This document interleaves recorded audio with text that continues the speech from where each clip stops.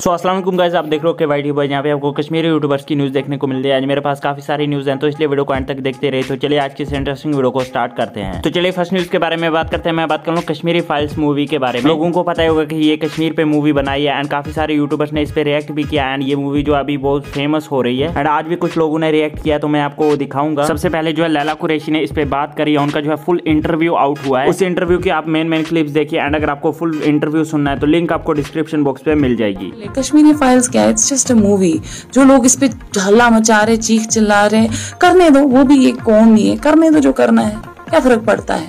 सच्चाई जो है, वो किताबों में लिखी जाती है। तारीख जो है, वो लोग बोलते हैं।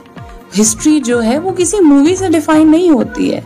कश्मीर की हिस्ट्री बहुत बड़ी है। एंड हाफिज अफरोज लोन ने भी उस पर रिएक्ट करते हुए एक वीडियो बनाई थी तो आप उस वीडियो की छोटी सी क्लिप देखिए। ये फ़िल्म बनाकर आप साबित क्या करना चाहते हैं? कि हमने कोई बड़ा काम किया है? नहीं ये फ़िल्म बनाकर आप खुद पैसा कमा रहे हो। लाखों में नहीं बल्कि करोड़ों में कमा रहे हो। और हाँ अब इस फ़िल्म से पुराने जख्म ताज़ा होंगे। इस फ़िल्म से नफरत की आग फिर से बढ़ सकती है। अगर आपको ये वीडियो देखने तो लिंक आपको डिस्क्रिप्शन बॉक्स पे मिल जाएगी। तो चलिए नेक्स्ट न्यूज़ के बारे में बात करते हैं। मैं बात कर रहा हूँ अदरीस मीर एंड जल्लाद के बारे में। आप लोगों को पता ही होगा की जल्लाद जो है एक रोस्टर है। एंड उन्होंने जो है रिसेंटली अदरीस मीर को रोस्ट किया था। आप लोगों को पता ही होगा कि अगर कश्मीर में कोई किसी को रोस्ट करता है तो उनके बीच में जो कंट्रोवर्सी हो जाती है। अदरीस मीर ने जलाद की उसी वीडियो पे कॉमेंट किया था जैसे कि आप स्क्रीन पे देख ही सकते हो जिसमें उन्होंने बताया कि उनको जो है वो वीडियो बहुत पसंद आया। अदरीस मीर ने यह भी कहा कि उनको जो है परमिशन लेनी चाहिए थी रोस्ट करने से पहले। और भी आप कॉमेंट रीड कर सकते हो पास करके। तो आप लोग इस बारे में क्या सोचते हो या नीचे कॉमेंट्स में ज़ोर से बताना। तो चलिए नेक्स्ट न्यूज़ के बारे में बात करते हैं। आप लोगों को पता ही होगा कि आज जो है शब बारात है। तो काफ़ी सारे यूट्यूबर्स ने जो है शब बारात पे जो है रिएक्ट करते हुए कुछ